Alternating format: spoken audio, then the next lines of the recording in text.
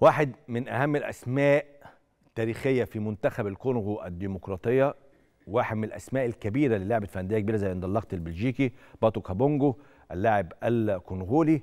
معايا الآن عبر آه الهاتف نسأله عن هذه المواجهة الكبيرة اللي هتجمع منتخبنا الوطني إن شاء الله بمنتخب الكونغو الديمقراطية. غدا يا فندم مساء الخير. مشرف ومنور على التلفزيون المصري برنامج رقم 10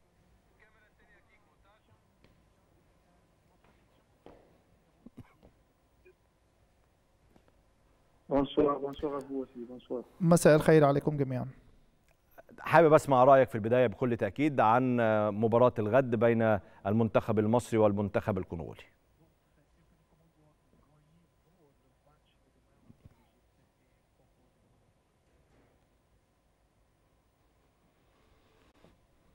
Ah, Bon, pour moi, c'est حسنا بالنسبة لي هو هي مباراة ككل المباريات. لا سيما وأن مصر والكونغو تعتبر مباراة ديربي المباراة بالتأكيد صعبة في هذه الكان وبها الكثير من المفاجآت. وأعتقد أن المباراة ستكون قاسية على الفريقين غدا. منتخب الكونغو رغم إن هو جمع ثلاث نقاط فقط في دور المجموعات ولكنه أظهر مستوى جيد في الثلاث مباريات اللي لعبهم. هل تتوقع إن الكونغو بكرة آه، تظهر وجه أقوى من الوجه اللي أظهرته في دور المجموعات؟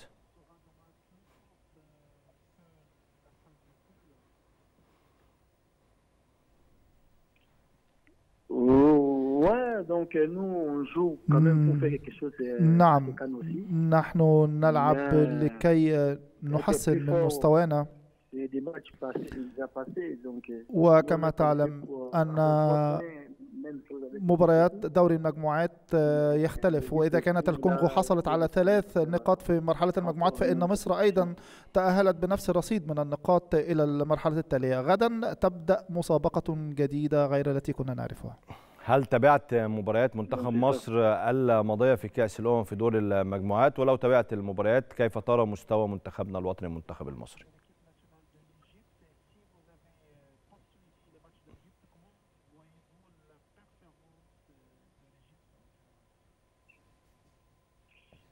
Ouais, c'est pour cela que je viens de dire. hein.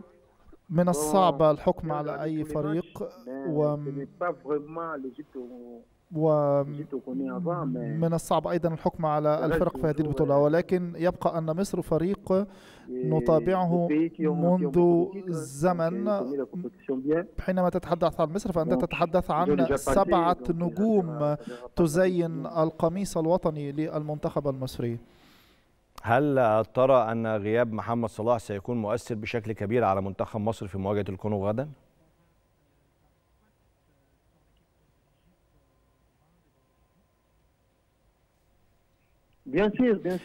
بالتأكيد. بالتأكيد هو لاعب من طراز رفيع ومباريات مثل هذه. تتطلب لاعب بهذه الجودة وبهذه aussi, الخصائص ربما لا أخفي سرا إذا قلت أننا ربما سنراهن غدا على غياب محمد صلاح كي نخطف الفوز من الفريق المصري. هو لاعب يلعب في مستوى عالي جدا جدا جدا وبالتأكيد غيابه يريح الدفاعات الكونغولية بالغد. باتو كابونجو نجم منتخب الكونغو الديمقراطية ونادي اندرلخت البلجيكي السابق. أنا بشكرك شكرا جزيلا على هذه المداخلة. بص أنا آخر جملة دي بالنسبة لي تخلص حاجات كتيرة قوي قال لك إحنا في الكونغو بنراهن إن هنكسب بكرة بسبب غياب محمد صلاح.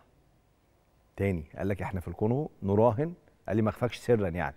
إحنا بنراهن إن هنكسب بكرة عشان غياب محمد صلاح عن منتخب مصر.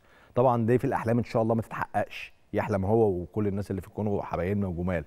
بس إن شاء الله نكسب بصلاح من غير صلاح هنكسب. بس أنا بفهمك لما بنروح نلاعب منتخب في قارة أفريقيا أي منتخب في الدنيا وأنت معاك محمد صلاح أنت داخل مخوفه كده كده.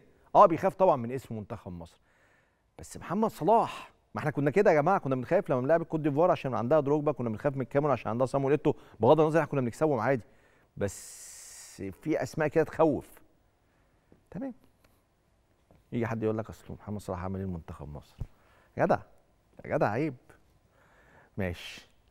مش عايز أفتح أنا الحكايات القديمة دي عشان نركز مع منتخبنا بكرة إن شاء الله.